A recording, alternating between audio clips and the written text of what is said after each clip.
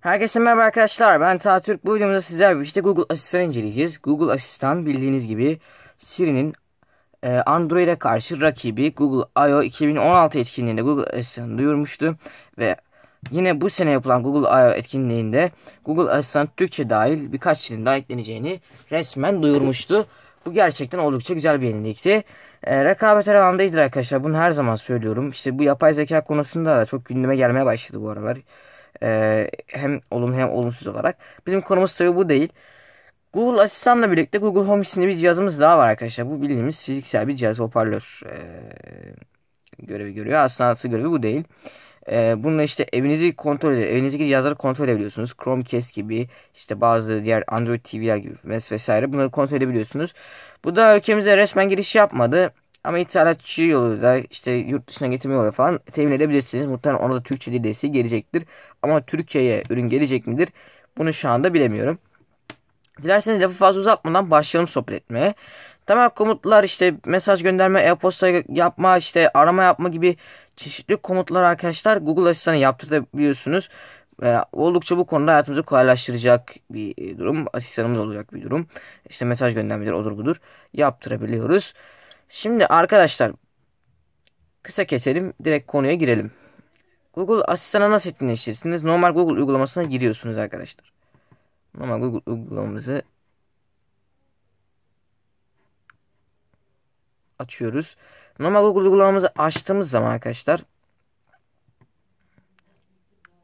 ee, burada güncellemeler diye bir kısım var. Google'ın ana sayfasında güncellemeler diye bir kısım var. Güncellemeler kısmında Google Asistan zaten direkt karşınıza çıkacaktı. Biz yanlış yere basmadıysak tabi. Güncellemeler kısmında Google Asistan direkt karşınıza gelecektir. Ee, başka bir şey yapmanıza gerek yok. Sizden bir takım şeyler isteyecek işte. Bu asistan ayarları diye bir sekmemiz var. Asistan ayarları sekmesinden de ödeme yöntemleri, iş ve ev adresiniz gibi çeşitli özellikleri ayarlayabiliyorsunuz. İşte iş adresiniz evinizi bulmanızda size şey iş adresiniz için işte yol tarifi alabilirsiniz. Bu tarz şeyleri yapabilirsiniz. Şimdi hepsine bakacağız zaten. İşte hizmetlerde farklı şeyler var. İşte video oynatmak için hizmet seçin, müzik çalmak için hizmet seçin gibi şeyler var. Bunları kurcalayarak keşfedebilirsiniz arkadaşlar. Ben çok girmeyeceğim buralara. Şimdi dilerseniz arkadaşlar yavaş yavaş sohbetimize bir merhaba diyerek başlayalım. İlk önce şunu bir kapatayım arkadaşlar ben. Direkt normal Google asistana gireyim. Home tuşuna basıp tutuyoruz. Merhaba. Ee, home tuşuna. Şimdi buradan ben size şey... Oha bu merhabayı çeviri yaptım merhabayı. Merhaba. Evet şimdi. İyi akşamlar Taha. Gördüğünüz gibi. Saat 18.27. Saati söylüyor. Onun ardından hava durumunu söylüyor. Ve, ve hava durumunda ne olduğunu e, söylüyor. Ayrıca bundan sonra da bize güzel dileklerini ileterek konuşmasını sonlandırıyor. Mesela diyorsunuz ki İstanbul için haftalık hava durumu. İstanbul'da hava 15 derece ve çoğunlukla bulutlu. Gördüğünüz gibi İstanbul için diğer hava durumu bilgilerini de karşımıza çıkarıyor. Ee, bunlar yapabileceğimiz basit komutlardan birisi. Mesela WhatsApp'tan mesaj göndertebiliyoruz arkadaşlar. Bu gerçekten güzel. WhatsApp'tan mesaj gönder. Kime mesaj göndermek istiyorsunuz? Sinan. Şu kişilerden hangisi Sinan, Sinan A veya Sinan Saltık? Nasılsın? Mesaj şöyle, nasılsın? Bu mesajı göndermek mi yoksa değiştirmek mi istiyorsun? Gönder. Kısa mesaj gönderiliyor. Gördüğünüz gibi mesajı gönderiyor zaten. Bu konuda bir sıkıntı yok. WhatsApp'a girmeseydi iyiydi. Ee, Sinan'a WhatsApp'tan mesaj gönderdik. SMS de gönderebiliyor arkadaşlar. Bunu da deneyelim isterseniz. SMS gönder. Kime mesaj göndermek istiyorsunuz? Emir. Mesajınız nedir? Bu bir deneme mesajıdır. Dediğimiz zaman. Mesaj şöyle, bu bir deneme mesajıdır. Bu mesajı göndermek mi yoksa değiştirmek mi istiyorsun? Gönder. Tamam. Gördüğünüz gibi mesajı gönderiyor mesaj arkadaşlar. gönderildi. Kısa mesaj gönderildi diyor. Bunu da mesajlarda görmemiz mümkün. Bunlar zaten temel işlemler. Daha önceden de yapabildiğimiz gibi işte el fenerini aç deriz açar. İşte onu yap deriz yapar. Bunu yap deriz yapar. Ya da işte mesela şöyle bir şey söyleyebilirsiniz. İngilizce diyorsunuz. Daha sonra işte bir cümle söylüyorsunuz. Seni seviyorum gibi. Ya da işte ne bileyim ee, farklı bir şey söyleyebilirsiniz. Mesela deneyelim. İngilizce bir bardak su alabilir miyim? Can I get a glass of water? Gördüğünüz gibi e, çeviri işini de tek tıkla yapabiliyor. Farklı böyle uzun şeyler çevirmek istediğiniz zaman da Google çeviriyi açma diye bir seçeneğimiz çıkıyor arkadaşlar orada. Onu şimdi göstermeyeceğim zaten yüklüyse onu görürsünüz. E, böyle bir seçene seçeneğimiz çıkıyor. Bu da oldukça iyi. Sadece İngilizce değil Fransızca, İspanyolca gibi çeviri yapıyorsa Arapçada denedim ama Arapçada çeviriyi gösteriyor. E, çeviriyi seslendirmiyor onu söyleyeyim. Fransızca seni seviyorum.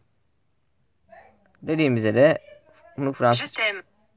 Jutem dedi Jutem. Gördüğünüz gibi Fransızca'da seni seviyorumu tercüme etti. Bu da gerçekten oldukça güzel yeniliklerden birisi. Hatırlatma kurabiliyor. Bu da en basitlerinden birisi. Hatırlatma oluştur. Comment vas-tu? Hatırlatma oluştur. Hatırlatıcı ne hakkında? Yemek yiyeceğim. Size ne zaman hatırlatma yapılmasını istiyorsunuz? Yarın saat 3. Tamam, bunu kaydetmek istiyor musunuz? Evet. Tamam. Hatırlatıcı kaydedildi. Gördüğünüz gibi tamam hatırlatıcıyı kaydetti. Yarın beni uyaracak. Yemek yiyeceğim konusunda yemek yiyeceğim dediğim e, konuda ulaşacak. E, ayrıca alışveriş listesi özelliği var Google'un arkadaşlar. E, buna şu an uygulama üzerinde erişilemiyor ancak işte shoplist.google.com diye bir URL'si var sanıyorum. Oradan girdiğiniz zaman erişebiliyorsunuz. Mesela diyelim ki alışveriş listeme domates şey alışveriş listeme e, ekmek ekle diyelim. Alışveriş listeme ekmek ekle. Tamam, alışveriş listene ekmek ekledim.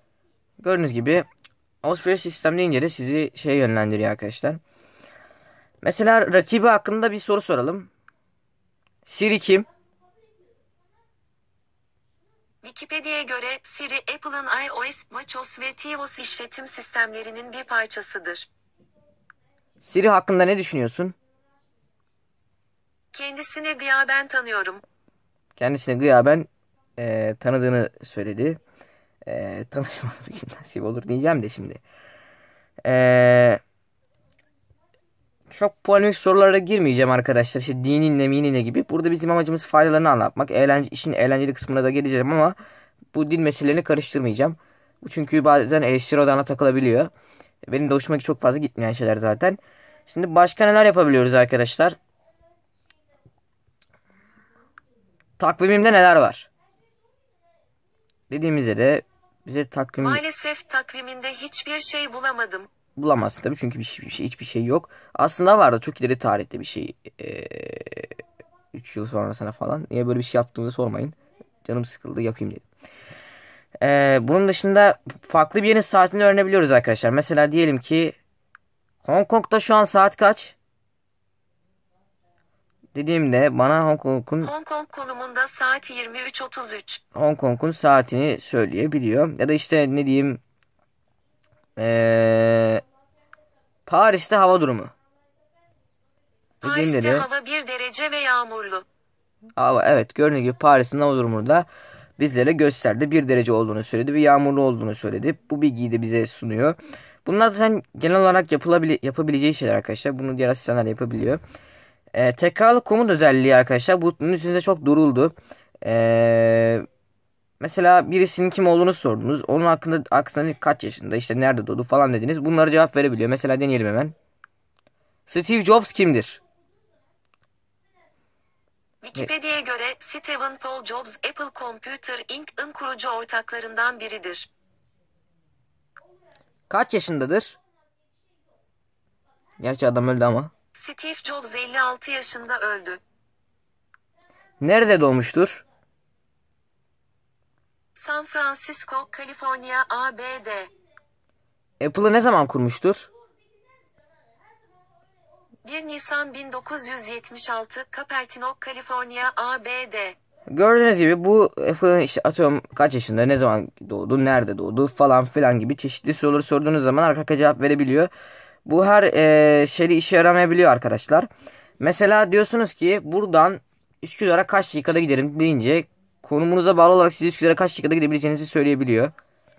Buradan Üsküdar'a kaç dakikada giderim? Bulunduğunuz konum ile Üsküdar konumu arasındaki trafik akıcı olduğu için tahmini süre 1 saat 4 dakika.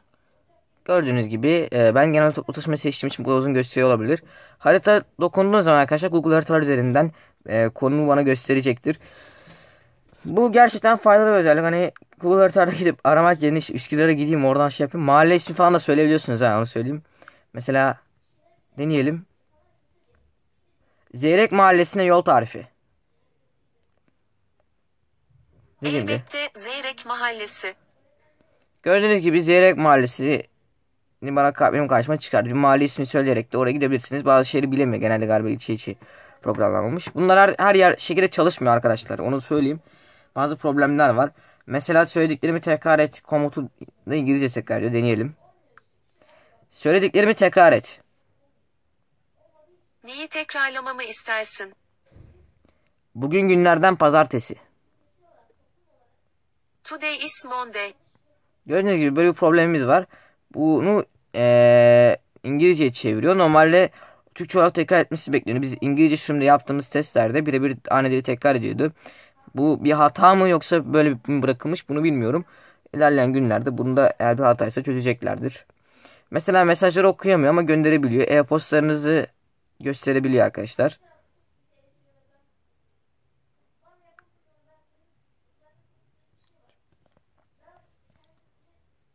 E-postalarımı oku. Dediğimde Gmail'inde bunlar var. Gmail'de bundan olduğunu bana işte iletileri gösteriyor. Okursa da güzel olabilirdi ama en azından iletileri gösteriyor. Bana haberleri oku. Eşleşen bazı haber makaleleri. Gördüğünüz gibi haberleri gösteriyor. Klasik bir soru olarak işte bir doların kaç TL olduğunu sorabiliriz. Ee, işte 100 doların kaç TL olduğunu sorabiliriz. 150 doların kaç TL olduğunu sorabiliriz. Ben bir dolar sormayacağım da 249 dolar soracağım. 249 dolar kaç TL? 249 ABD doları 1335,64 Türk lirası eder. Gördüğünüz gibi 1335,64 TL olduğunu bana buldu 249 doların. Böyle klasik bir dolar sormadım. Mesela matematik işlemleri de yaptırabiliyoruz arkadaşlar. Çarpma, toplama, çıkarma. Biz denklem çözümü de denemiştik ama başarılı olamadık arkadaşlar şu an için. Deneyelim. 374x 685 dediğimde 374 çarpı 685 256 1190. Burada şöyle bir şey arkadaşlar. Çarpıyı nedense kabul etmiyor. Biz bir türlü kabul ettiremedik. Çarpı deyince webde falan arıyor. Böyle bir problem var. X deyince ama herhangi bir problem olmadan dilediğiniz sayıyı e, çarpabiliyor. Bu da bir çözümlenmesi gereken bir hata olarak karşımıza çıkabiliyor. Ayrıca batarya düzeyini bir türlü söylettiremedim arkadaşlar. O da ayrı bir konu. E, bunun dışında müzik çaldırabiliyoruz. Mesela diyelim ki ee, ne şarkısını çaldırabiliriz? Apple Müzik'ten, Spotify'dan ya da dilediğiniz müzik sağlayıcısından şarkı çalabiliyor bu arada. Mesela işte ne diyelim aman aman şarkısını çal dediğimizde Apple Müzik'te aman amanı aradım ama bu içeriği ya bulamıyorum ya da şu anda oynatamıyorum. bulmana gerek yok zaten saçma çok mantıklı bir müzik değil. Benim listemde ne vardı ya? Eee ne vardı benim listemde? Şarkı ismi de normalde Gül Pembe şarkısını aç. Tamam Apple Müzik'ten Gül Pembe'yi çalmasını istiyorum. Artık bunu da çal yani abi. O müzik çalınca ben onu kapatabilecek miyim? O da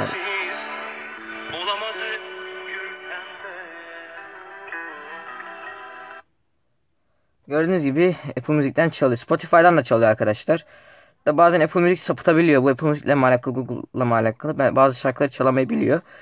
YouTube'dan video da açtırabiliyorsunuz arkadaşlar. Onu da deneyelim. Ee, mesela ne diyelim? Galaxy Note 9 incelemesi YouTube'da aç. Diyelim mesela. Bunu bulamadı. Barış Özcan 13 sayısıyla ilgili videoyu aç. YouTube mutup katmadım aya bu sefer. Ge geçen yaptığımız testlerde bunu bulmuştu. Ya da YouTube'da oynat diyelim. Keloğlan'ı YouTube'da oynat. Deyince bakalım. Keloğlan I'yı YouTube'da açıyorum. Aynen oynat deyince açıyor. Bu bildirmek lazım arkadaşlar. Kelime dağarcığı olarak problemi olduğunu söyleyebilirim. Yani oynatla çal arası şey e, aç arasında ki bağlantıyı kuramıyor. Diğer asistanlarda böyle bir problem olmuyordu. Bunu bir öneri olarak, geri bildirim olarak e, söyleyeceğiz Google etkilerine. Google Asistan'a başka neler yapabiliriz? E, çevirimizi yaptık. E, Netflix'te oynatma da yapabiliyoruz arkadaşlar ama benim şu an Netflix yüklü değil bende. O yüzden onu gösteremeyeceğim size. İşte YouTube'da oynattık, Apple Music'te oynattık. Web'de arama da yapabiliyor arkadaşlar. Mesela bana ilginç bir şeyler söylediğince size bir bilgi verebiliyor. Bana ilginç bir şeyler söyle. Tamam. Washington Post gazetesine göre Norveç'teki devlet üniversiteleri tüm ülkelerden gelen öğrencilere ücretsiz eğitim sunar. İyiymiş. Norveç'teki üniversiteler ücretsiz eğitim sunuyormuş. Bu da e, ne bileyim güzel mi iyi mi orası sizin bileceğiniz iş. E, bu bilgiyi de bize sundu. İlginç bir bilgi verdi. Mesela bir şey sorduğumuzda işte bir şeyin neden olduğunu sorduğumuzda e, bulabiliyor. En basit her yerde gökyüzünden mavi gördük de başka bir şey de denedim açıkçası bulamadım. Güneş gökyüzü neden mavi? Dediğimde gökyüzünün bana neden mavi olduğunu gösterebiliyor. bilgi. Gökyüzü açık olduğunda mavi ışık diğer ışıklara oranla en fazla saçılan ışıktır. Mesela gökyüzü yoğun bulutlarla veya dumanla dolu olduğunda tüm ışınlar neredeyse aynı oranda saçılır. Bu da gökyüzünün gri renkte görünmesine sebep olur. dedi. Alarm kurdurabiliyoruz arkadaşlar. Bunu da bir deneyelim. Beni sabah saat 7'de uyandır. Tamamdır alarmını yarın saat 7'ye kurdum. Gördüğünüz gibi. Saat 7 alarmını iptal et. Bu işlemi saat uygulamasında gerçekleştirebilirsin. Alarmı kurabiliyor ama iptal edemiyor. Bununla birlikte çok bahsedilmeyen bir özellik daha geldi arkadaşlar Google Asistan'da. Google Lens. Google Lens'i burada test etmeyeceğim. Onu ayrı bir videoya ayıracağım. Ee, şimdi Google Asistan'a devam edeceğim ama şöyle bir şey söyleyeyim. Şunu Google Lens ile barkod okutma, işte resmi seçip işte bir yerde paylaşma gibi birçok işlem yapabiliyorsunuz. Hele kameranız ise gerçekten bu OCR işlevini çok iyi gördüğünü söyleyebilirim. Yani optik tanıma işini çok iyi gördüğünü söyleyebilirim. Gerçekten birebir sonuçlar elde ettik yaptığımız testlerde. Bunları tabii araçlara keşfederek öğrenebilirsiniz. Ee, şu an Google Lens'i test etmeyeceğim. Başka bir videoda test edeceğim. Şimdi arkadaşlar hepimiz biliyoruz. Arada bir bir müzik oluyor.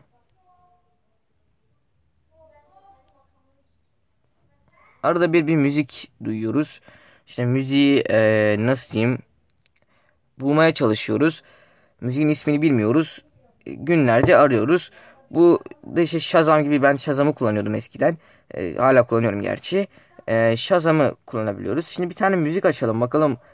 Burada şu an çalan müziği yani buna deneteceğimiz müziği tanıyabilecek mi? Hemen ben bir müzik açıp geliyorum. Evet arkadaşlar müziğimizi buldum. Şimdi müziği çalmadan önce Google Asistan'a diyeceğim ki benim için şu anda çalan şarkıyı bulabilir misin? Şu anda çalan şarkı. Ne yazık ki anlayamadım. Şu anda çalan şarkı. Ne yazık ki anlayamadım. Şu anda çalan şarkıyı anlayamıyor arkadaşlar. Ee, şöyle diyelim. Onu ben nasıl elde ettiğimi şu an bir düşünmem lazım. Şu anda çalan parçayı bulabilir misin?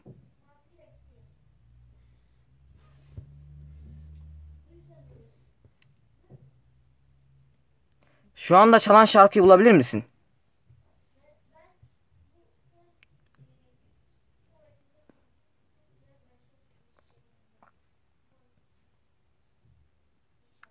Şu anda çalan müzik.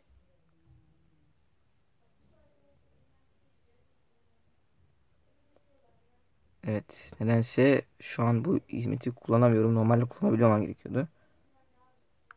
Şu anda hangi şarkı çalıyor? Şu anda hangi şarkı çalıyor?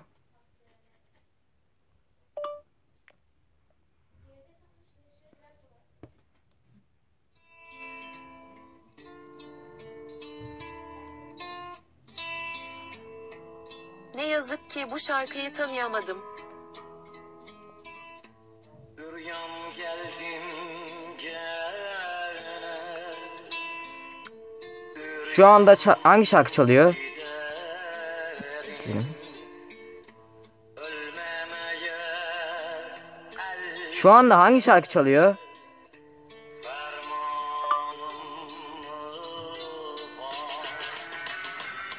Cem Karaca'dan Üryan Geldim çalıyor.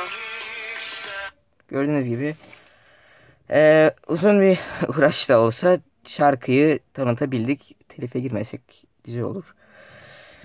İşte Apple Music'ten şarkı açtırdık, YouTube'dan video açtırdık, müzik tanıttık. Bütün bu işlemleri gerçekten sonuç bir şekilde gerçekleştirdi. Ama şöyle bir eksiğini Google asistanı görebilirsiniz. Kelime dağarcığı çok geniş. Şu anda hangi şarkı çalıyor anlayabilirken şu anda çalan şarkı ne kelimesini anlayamadı arkadaşlar. Bu eee, bir eksi bence. Yol tarifi yaptırdık. Birçok şeyi yaptırdık. Birazcık işin eğlence kısmına şimdi girebiliriz. Fıkra anlattırmaktır. Odur budur.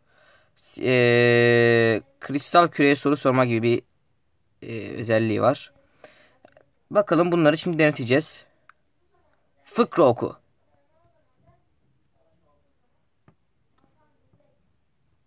Mesela şöyle bir şey söyleyeyim arkadaşlar. Bu fıkra okuyduğunuz sabah denemelerimde algılıyordu. Sonra da algılamamaya başladı.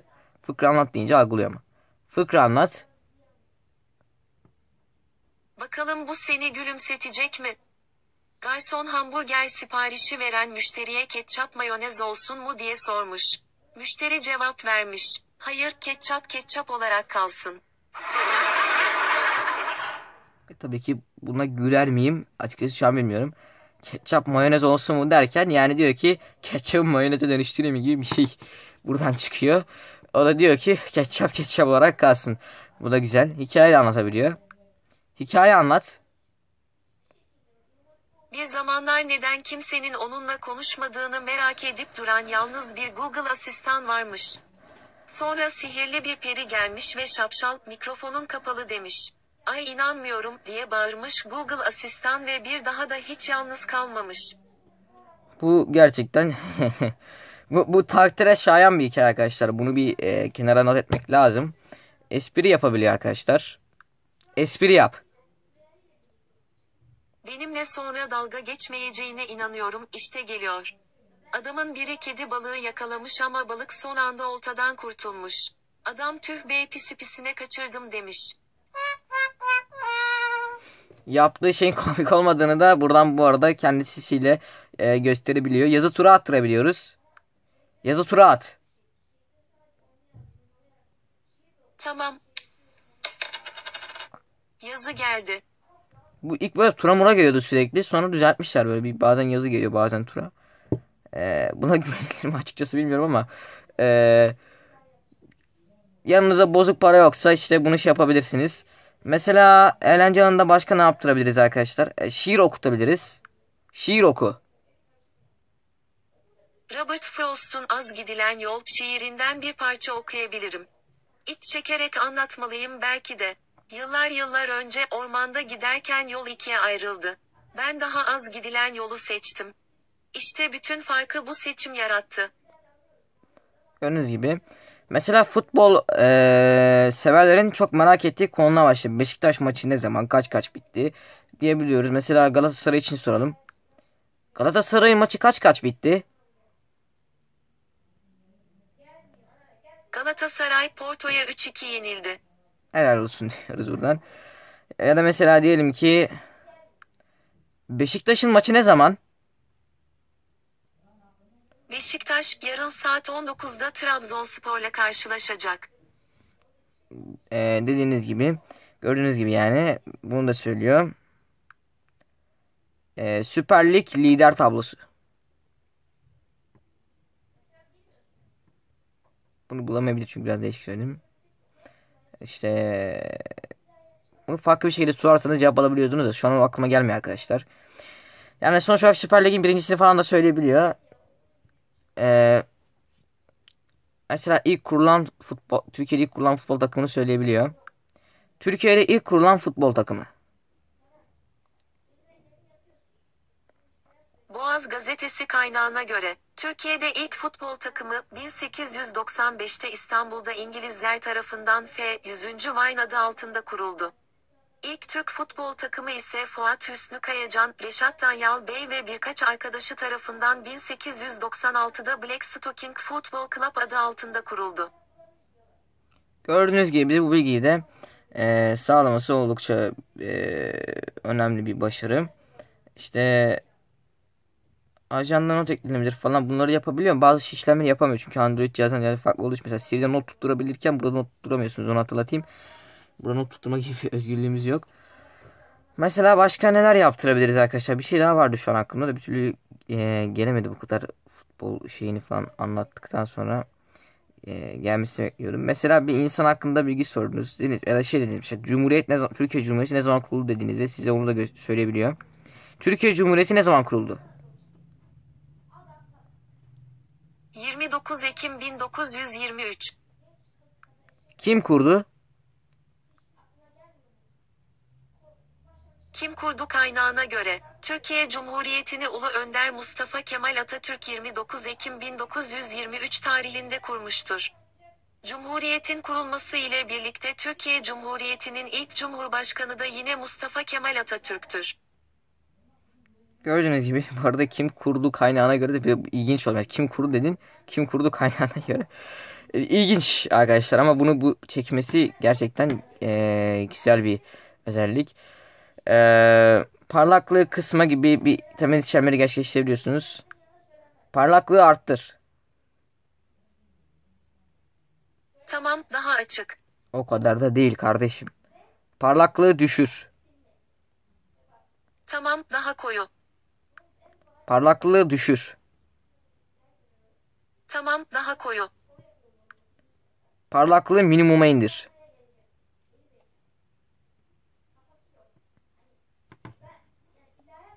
Bütün sırrı bozdu. Oradan tebrik ediyorum kendisini. Ee, otomatik parlaklığı kapatmış sevgili Google. Ortalığı karıştırdığı için kendisini buradan tebrik ediyorum. Otomatik parlaklığı hangi aklı hizmet kapattığını görürsem soracağım. Tabii biz açıyoruz otomatik parlaklığımızı. Gördüğünüz gibi arkadaşlar birçok işlem yapabiliyorsunuz. İşte bataryumu da sorgulatabiliyorsunuz. Onu ben bir türlü sorgulatamadım. Ya da mesela işte eşimi ara dediğiniz zaman, kızımı ara dediğiniz zaman işte kızınızı oraya ismini mi kaydettiyseniz oradan kızınızı seçiyorsunuz. Bir daha kızımı ara dediğiniz zaman işte o seçtiğiniz kişiyi arıyor arkadaşlar. Öyle bir güzel özelliği var. Bu da şu an kalsın. Ya da yemek tarifi isteyebiliyorsunuz. Mesela diyelim kırmızı mercimek çorbasının tarifi. Dediğimizde Nefis yemek Bize tarifleri bunu kaynaklı gösteriyor. bilgiler. bazı tarifleri okuyor arkadaşlar. Bazılarını okumuyor. işine gelmiyor. Bazı sorulara da sessiz cevap veremiyor hala arkadaşlar. Sanıyorum hala çalışma süreci devam ettiği için e, bazı problemlerle karşılaşılabiliyor. E, yemek tarifi de isteyebiliyorsunuz. E, kendisi hakkında bir şeyler sorabiliriz. Kaç yaşındasın? Kitabı kapağına göre yargılamayacak kadar yaşlıyım ama kaka emojisini komik bulacak kadar da gencim. O kendisinin yani zeki olduğunu iddia ediyor buradan. Ee, mesela seni kim yaptı? Google'daki bir ekip tarafından tasarlandım. Gördüğünüz gibi ee, bu soruya cevap veriyor işte. Çok güzelsin diyelim mesela. Çok güzelsin. O senin kendi güzelliğin. dedi dediğiniz gibi. Ee, bu da oldukça güzel bir ee, ne diyeyim şey oldu. Ya da mesela kendisi hakkında başka neler sorabiliriz? Nelerden hoşlanırsın? Komedyen olmak isterdim. Sana yapma demiyoruz. Yine yap ama hobi olarak yap dediler. Ben de o yüzden fıkra öğrenip anlatmaya başladım ama çok başarılı olduğum söylenemez.